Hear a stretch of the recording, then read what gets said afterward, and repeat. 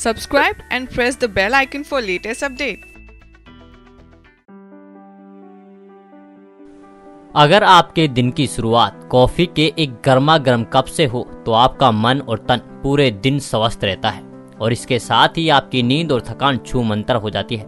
वैसे तो दुनिया के लगभग हर मुल्क में कॉफ़ी पी जाती है। किसी को कैपोचिनो पसंद है तो कोई एक्सप्रेसो का दीवाना है।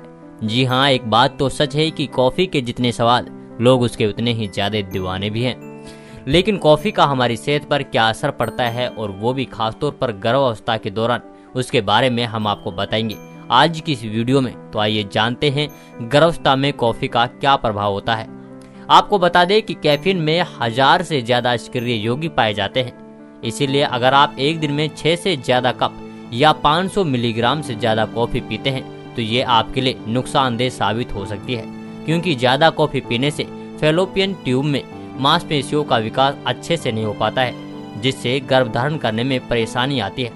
इसीलिए गर्भवती महिलाओं में ज़्यादा कॉफ़ी पीने से सिर दर्द, चिड़चिड़ापन, बेचैनी और मतली जैसी बीमारी होने का खतरा बढ़ जाता है। इसी के साथ ही आपको बता दें कि ज़्यादा कॉफ़ी पीने से गर्भपात का खतरा बढ़ सकता है। कैफीन, प्लेसेंटा और भ्रूण के विकास को बाधित करती है और साथ ही गर्भता के दौरान कॉफ़ी पीने से पाचन संबंधी समस्याएँ भी हो सकती हैं। इसीलिए गर्भ अवस्था के दौरान कम कॉफ़ी पीनी चाहिए ताकि गर्भ धारण करने में कोई बाधा न आए और गर्भ धारण की क्षमता प्रभावित न हो। Health desk report.